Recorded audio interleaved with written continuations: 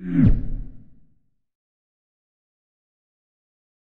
if you're new here this morning, my name is Adam, and man, I'm so thankful you've chosen to start off the year with us and worship with us this morning. If you do me a favor after service and come over here to Next Steps, uh, we'd love just to get some stuff in your hand, tell you all about the church. Uh, but today, I'm really excited because we are starting a brand new series to start off our year. And uh, man, I, I believe and I know that God's going to do something amazing at the beginning of this year as we just give it to Him. We're starting off with 21 days of prayer and fasting, and I believe that we're going to see breakthrough in this time that we live in at the beginning of the year as we give the beginning of it to Him. Amen. And so uh, we're, we're in a series entitled Why Revival Waits. Why Revival Waits. And this is really Man, this is the heartbeat of what God really has placed inside of me. Man, there's this, there's this desire and this yearning that I have just to see a move of God. Anyone else with me just want to see a move of God in your life? And so we're going to be talking about that for the next uh, three weeks. I've entitled my message this morning, Unrelenting Breakthrough Prayer. Unrelenting Breakthrough Prayer. I believe that, man, as we learn to have this unrelenting prayer, that we're going to see breakthrough. Amen? If you like my notes, you can text notes to the numbers on the screen and get my notes. Um, also, if you want to turn your Bibles to Luke chapter 18, that's where we're going to be uh, at this morning. It'll take a little bit for us to get there, but you can go ahead and turn there, put a marker there, and we'll read that uh, shortly into the message. Uh, let's pray. Let's invite the Holy Spirit to speak to us today. Mm. Holy Spirit, we, we're here for one reason that's just you, God. Nothing else. Lord, we're not interested in just going through the motions and playing church. Lord, what we're interested in is this real, authentic relationship that you invite your people into. I pray that during this series, God, that Lord, we would learn to develop that, God. That, Lord, we would see a personal revival, God, that would lead us, God, to corporate revival, Jesus. But it starts with us personally, Jesus. And so, Lord, would you teach us, God, how to pray?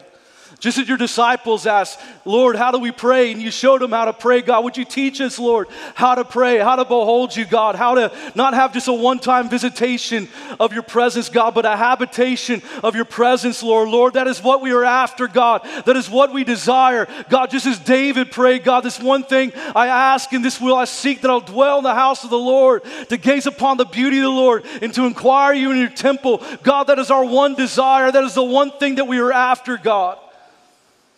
And so we are here today, God, coming with a humble heart, knowing, Lord, that none of us have it together, God. I don't have it together, Lord. I am broken, God. But Lord, would you take me and God, would you use me, God? Would you use us, Jesus, as a congregation and a people, God, for such a time as this?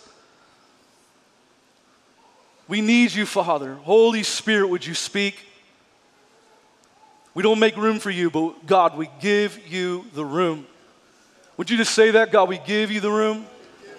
Come on, would you say that again? Lord, we give you the room.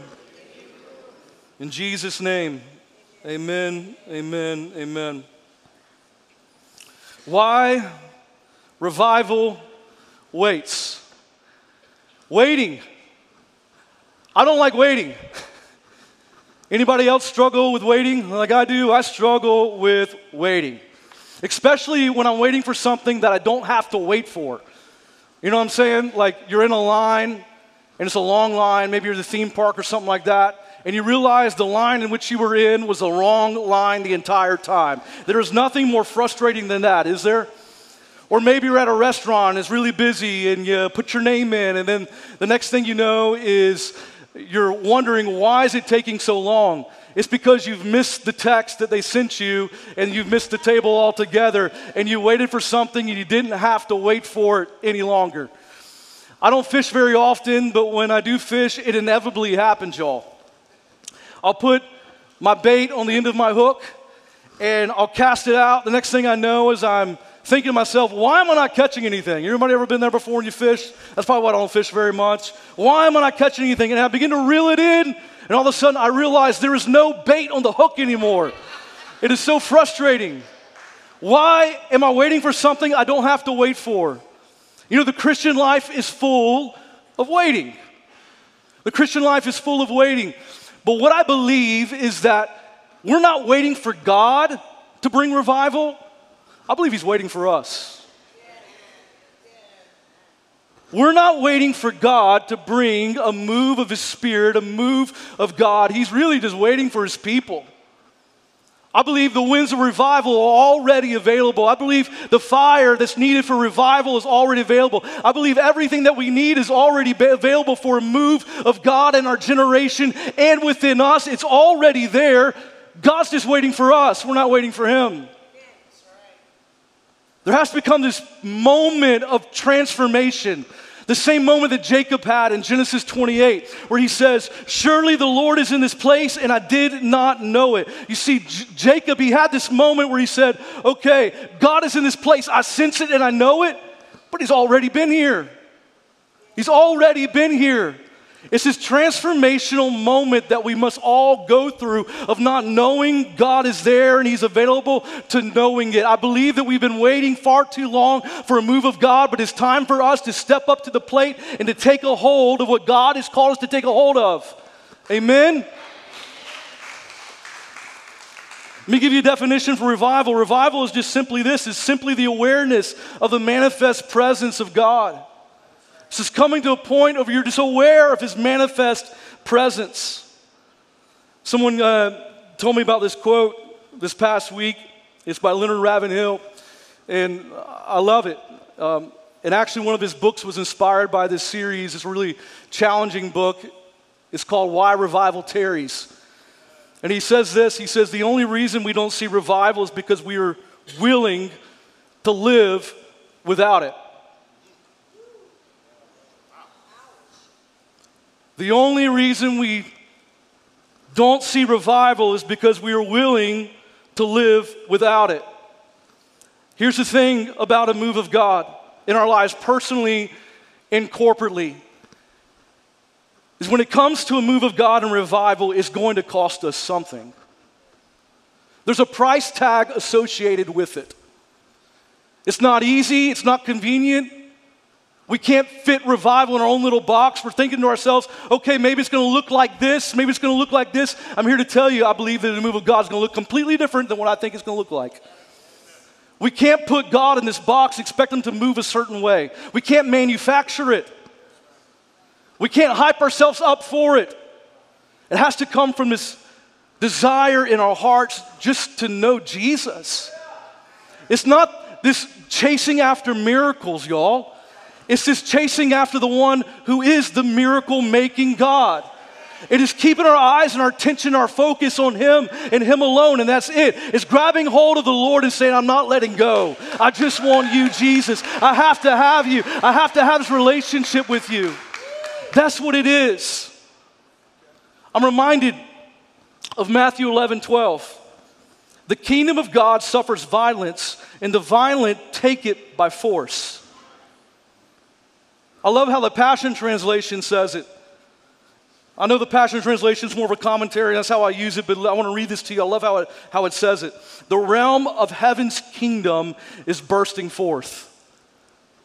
The realm of heaven's kingdom is bursting forth. How many know that the heaven, that heaven is on the move, that God is on the move?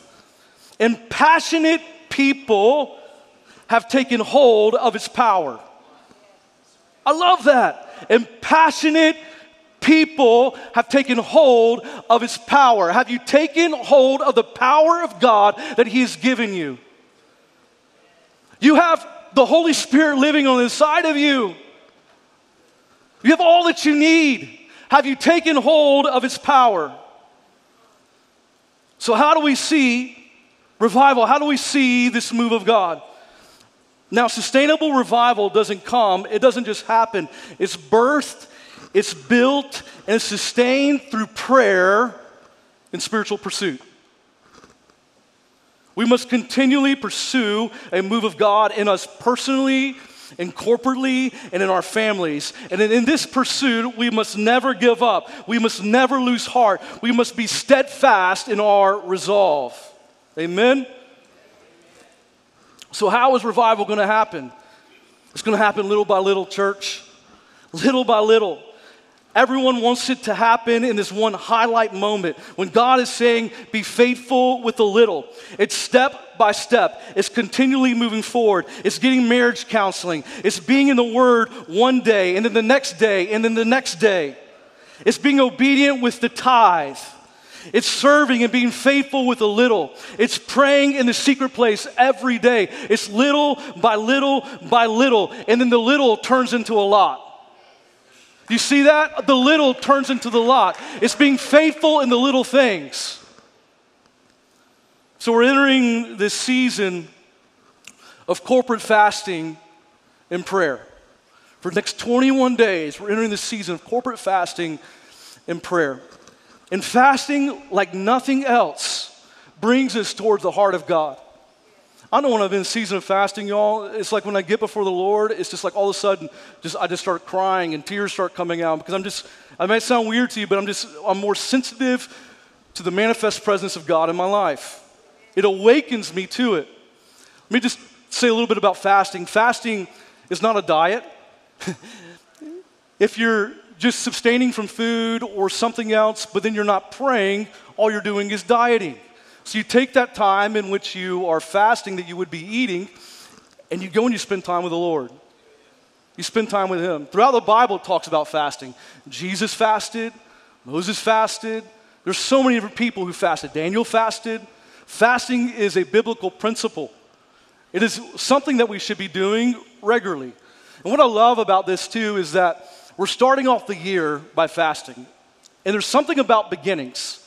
In the beginning, was the Word. In the beginning, God created the heavens and the earth. There's something about starting off the year by fasting and giving it fully and completely to the Lord. I've kind of said this that, you know, my year does not start until February because my year is starting off with giving it to the Lord and then I'm expecting for the remainder of the year. I'm starting off by giving this first month to God and then He has the rest of it. You see what I'm saying? There's something about first, giving of your first fruit giving of the tithe. There's something about first, there's something about being alone with the Lord in the morning and giving that time with Him, that first hour or so, just being with Jesus. There's something about first. And so we're starting off the year by giving Him this first month, and we're just saying, Lord, just, just take it, use me, work on me, God, do something inside of me. Lord, I just want to know you. This desire just to see breakthrough in your life, breakthrough in, in others' lives. And so I'm just reminded when I think of this, of this very popular uh, scripture and uh, it's Second Chronicles 7.14. Many of you know it. It says, if my people who are called by my name. How many of you are called by the name of Jesus? How many of your sons and daughters of God? If my people are called by my name, will humble themselves. Fasting like nothing else will humble you before the Lord. It's the same to God. Lord, I know that I'm nothing without you. Lord, I'm coming before you, and Lord, I, I, know I've got nothing to give, but Lord, just all of me. He says, lay down your lives a living sacrifice before me. And so, what we're doing in this moment is saying, Lord, I, I, worship you. I'm laying down my life right now. Lord, I, I'm humbling myself before you. There's something about humility and fasting. Fasting brings humility. So, if my people are called by my name will humble themselves and pray, and what? And seek my face. I'm reminded of, David in Psalm 27 8. God apparently asked him this question David, will you seek my face? And David's response is, Lord, with my heart, God, yes, I will seek your face. I'm going to seek your face. How many of you are just going to seek the face of the Lord for the next 21 days? Come on, someone. We're going to seek the face of God. I just pray right now, God, over every single person that, Lord, that we would seek your face. That, God, even those moments where, God, we don't feel like it, even those moments where our flesh is getting the best of us, God, I pray that, God, that, Lord, we would turn from our flesh and we would turn, God, towards you. Lord, I know that God, you will fill us up as we seek your face. Because, Lord, you said about your people, God, as we draw near to you, you will draw near to us. So I pray for every single person in this room, God, right now, Father. Lord, as we set aside this time to seek your face, God, that, Lord, we would develop this authentic, real, deeper understanding of you and this relationship with you that you're inviting us into. In Jesus' name. So if my people are called by my name will humble themselves and pray and seek my face and turn from their wicked ways. There's a turning from sin. We, we serve a holy God, and, and sin has, has no place when you really want to be before a holy God. And so, man, I'm thankful that God forgives us of our sins. I'm thankful that we can come, we can boldly approach our, His throne, even though we've messed up, because we all messed up. But there's something about turning from sin and just turning towards God. And look at the promises we do this. Then I will hear from heaven. I will forgive their sin and heal their land. Man, how many of you know that we need healing in our land? We need healing in our land. And I've heard Pastor Jim say this man, this is an election year. And no doubt about it, it might look in the natural this next year crazy out there. But what I'm here to tell you is that, man, God is our hope and He can heal our land. But it takes a people who are setting themselves aside and saying, Lord, I'm going to humble myself before you. I'm going to seek your face. I'm going to pray. I'm going to turn from my sin and I'm going to turn towards you. That sin would not satisfy us any longer, but only the longing of our heart would be Jesus and Jesus alone. So I want to look now to Luke chapter 18. You might have turned there in your Bible already. Luke chapter 18, let's just go ahead and dive into this. This is a uh, unrelenting prayer. This widow who has this unrelenting prayer. It says this in verse 1. Then he spoke a parable to them that men always ought to pray and not lose heart. Tell your neighbor right now, don't lose heart. Right off the bat, Luke gives the reason for Jesus telling this story to his disciples. It's in order to empower us to an unrelenting prayer. It's very clear that Jesus wants you to pray and never give up. Now, here's the thing about this is especially in end times. We live, I believe, in the end times. And this passage is referring back, especially because of the end times. Look at verse 8. We're going to skip down just a little bit. It says this Nevertheless, when the Son of Man comes, will he really find faith on the earth? Jesus is saying that this parable is actually pointing to the end of the age and is more relevant to us today than any other time in history. And this is what comes to mind when I think of this. There, in the last days, there's going to be in 2 Peter, Peter talks about a scoffing spirit. A scoffing spirit which will come against people who are anticipating the Lord. And the scoffing spirit will say, Why are you waiting for his return? Don't you know that he's been talked about for 2,000 years? Where's he at? The scoffing spirit saying, Hey, why are you praying? It doesn't matter. The scoffing spirit, when you go to the place of prayer, when you go into the secret place, that will try to come against you and try to speak to you and say, God's not listening to what you're saying. Why are you praying? Why are you believing like that? The scoffing spirit you have to know will come against you. And you have to recognize it and see for what it is. You have to begin to say, I reject that scoffing spirit that's coming against me that Peter talks about in Second Peter. And I'm going to realize that prayer matters. Listen, prayer works. God listens to his people. God listens to us. He is faithful and just. He is good. He's a good God who listens to our prayer. We serve a God who answers prayer. Jesus answers prayer, he fulfills his promises, and he wants us to pray and to not stop. The whole point of prayer is this is to grab hold of God and just not let go. Bishop, he's taught me this. He says, he's told me over and over again, he's like, prayer is labor. It's work. It's labor. It's work. It's labor. It's work. In other words, you get before the Lord and you don't move until you've encountered Him. Sometimes it takes 15 minutes, sometimes it takes 30 minutes, sometimes it'll take an hour, sometimes it might take two hours. Prayer's labor. So maybe some of you are challenging in this room. Maybe you've never began to even pray before. and just, man, just give God five minutes. Just start there, give God five minutes. Maybe for some of you, you've had a faithful prayer life and you've set aside, you know, 10, 15 minutes a day to pray. Maybe God's going to challenge you during this 21 days of prayer and fasting. Man, you're going to give more time than just 15, 20 minutes. You're going to give 30 minutes, maybe an hour. Prayer's labor, but you got to start somewhere. So I challenge you, wherever you're at, man, if, if you never prayed before, don't start off by saying, I'm going to pray for an hour. Just start off with just five minutes, 10 minutes. Start off somewhere. Just continually grow in that. It's labor, it's work. Look at verse 2 now. There was in a certain city a judge who did not fear God nor regard men. Now there was a widow in that city, and she came to him saying, Get justice for me from my adversary. Can we read that together? That prayer that she prays? Get justice for me from my adversary. Can we do that again a little louder now? Get justice for me from my adversary. Now, this is a widow, and she's dealing with this judge who's an evil man. And so when you think of widow, a widow, you think of someone who has lost someone. You think of, of grief. You think of, of mourning. And so this widow is in a vulnerable state. And this evil judge is thinking to himself, I can take advantage of her. I can use her. I can take advantage of the situation. But then she gets in front of him and she says, Get justice for me from my adversary. She prays this very incredibly powerful prayer that I believe is overlooked. That's one of the most powerful prayers in Scripture. Get justice from me from my adversary. You've got to know this. You've got to know that you have an adversary.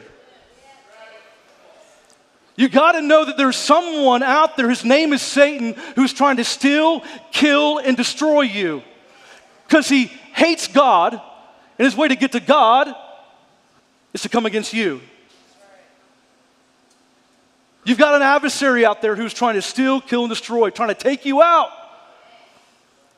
And so, what do we do? We get before the Lord and we, I mean, we pray. There's a, there's a hedge of protection that's available to the, peop, to the people of God. And we can pray for that. Lord, would you put a hedge of protection around me, around my family? And when you do that, and you have this unrelenting prayer, this prayer gets before the Lord, Lord, get justice for me from my adversary. Something happens in the spirit. And when you decide to stand before God and lift up this unrelenting prayer, the adversary will do everything he can in his power to stop you from praying that prayer. Why?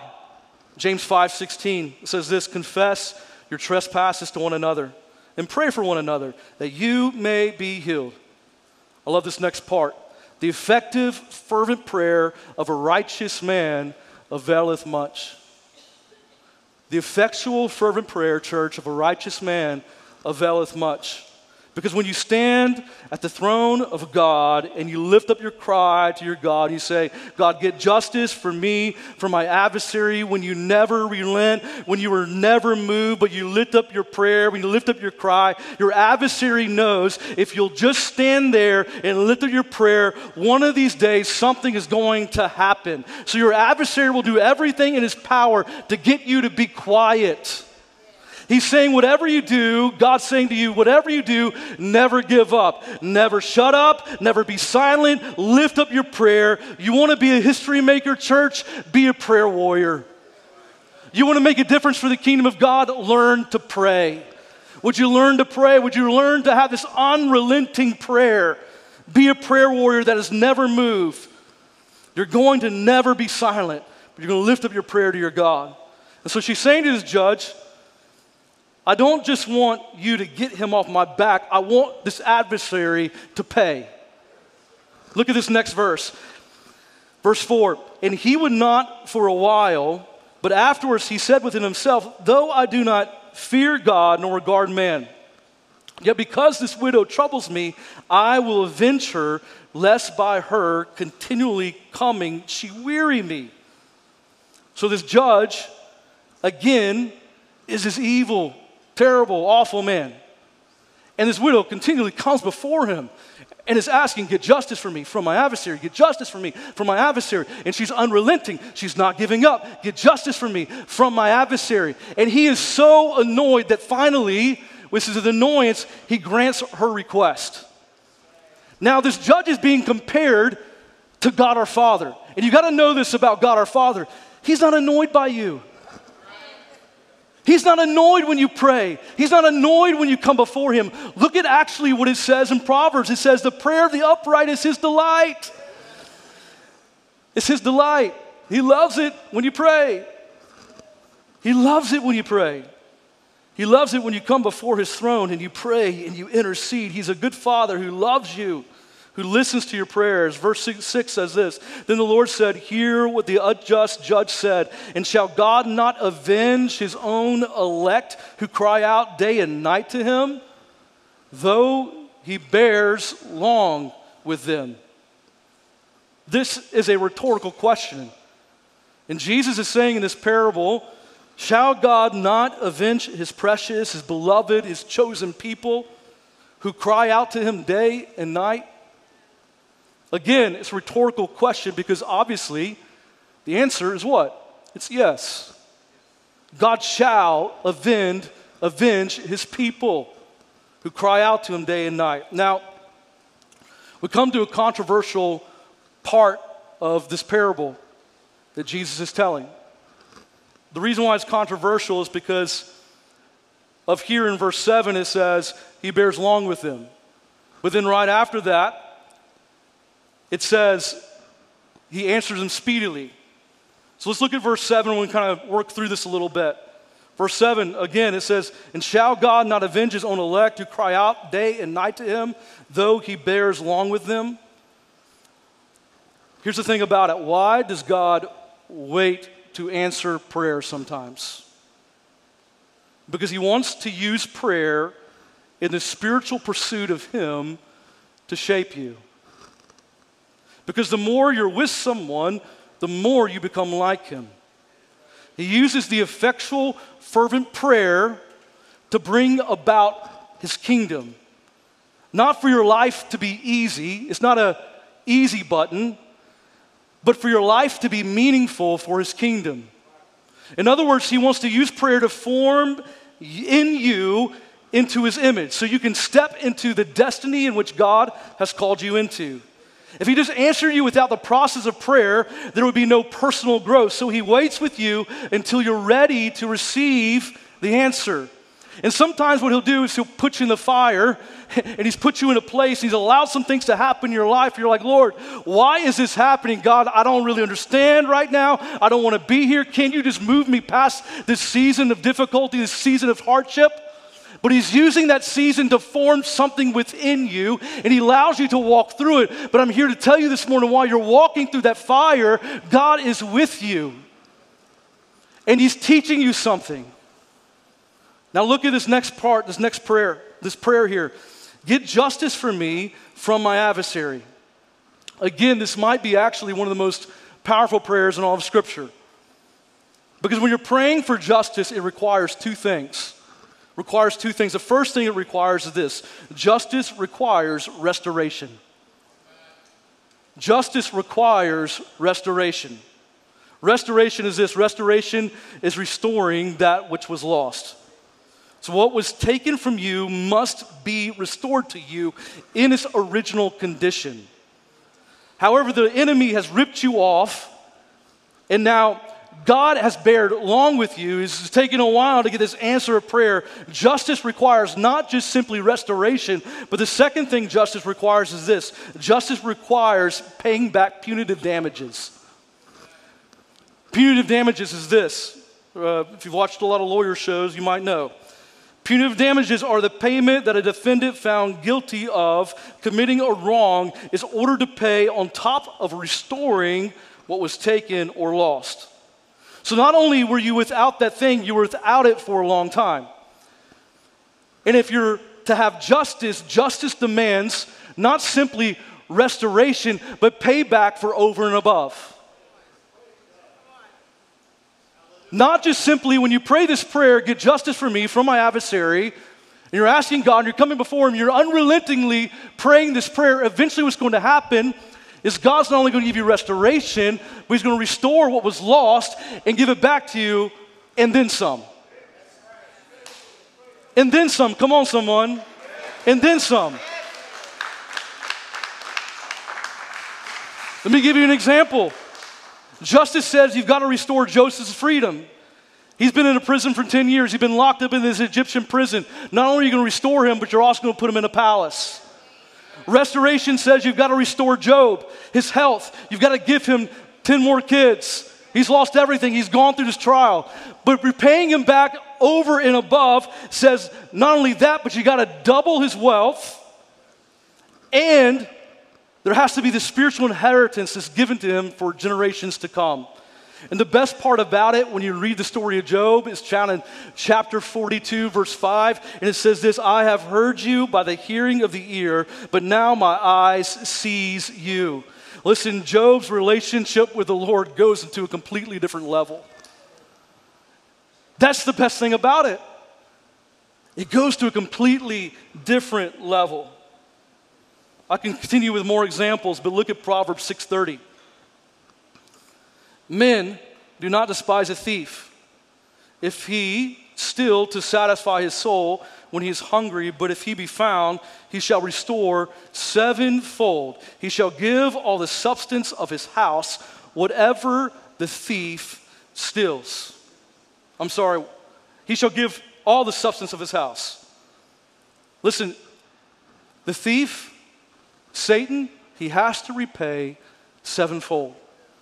But it comes from a place of getting before the Lord, having this unrelenting prayer to God, and just continually being before God because He answers the prayer of the righteous man.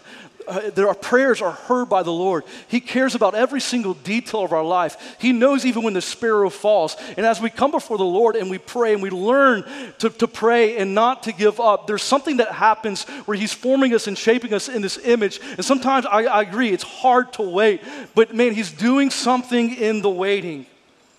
This is what I believe this year is God wants to release a grace on your life to loose the captive free and to plunder the house of the adversary because justice demands it. Justice demands it. And when justice demands it, look at what happens next in verse 8. Worship team, you can come on out. I tell you that he will avenge them speedily. So you might be thinking, wait a minute, Adam. I thought you just said he bears long with them. And now it says, He avenged them speedily. We've just dumped, jumped into the, to the paradox of this passage here. He might take forever, it seems like to us. His time's different than our time. It might seem like it's taking forever, but when he gets justice for you from your adversary, fasten your seatbelt. You're in for a ride because it comes quickly.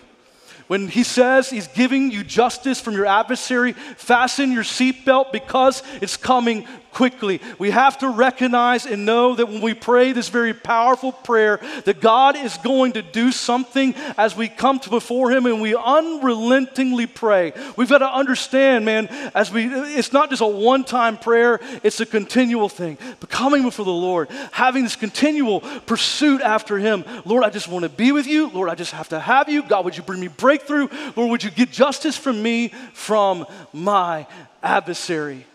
Would you get justice for me from my adversary? Would you rise to your feet right now? This is what I believe. I believe that this past year, this is what I felt like the Lord has impressed on my heart. I felt like He impressed on my heart that some of you in this room, you lost some stuff in 2023. Maybe you lost a friendship in 2023. Maybe in 2023, your finances were impacted. Maybe in 2023, I don't know, maybe uh, some health issues came about. But this is what I want to pray for us this morning is this. Lord, would you get justice from me from my adversary? Anyone with me this morning? The enemy has to repay, has to restore, and has to pay back and then some. So, Lord, we believe it and we know it, God, that, Lord, you are a God who answers prayer. And so, Lord, we declare justice, God. We declare justice from the enemy, God. Lord, what was stolen, what was taken in 2023, I pray, God, would be restored this next year.